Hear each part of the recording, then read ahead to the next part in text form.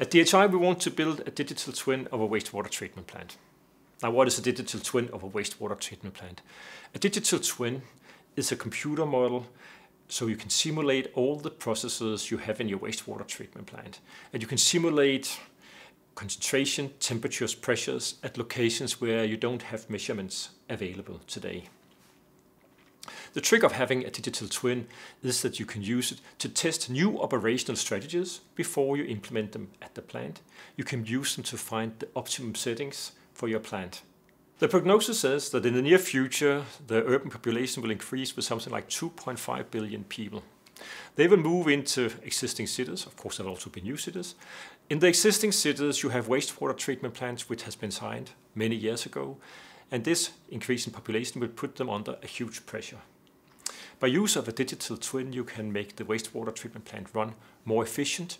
You can get more water through the wastewater treatment plant and then save huge costs of reconstructing existing wastewater treatment plants.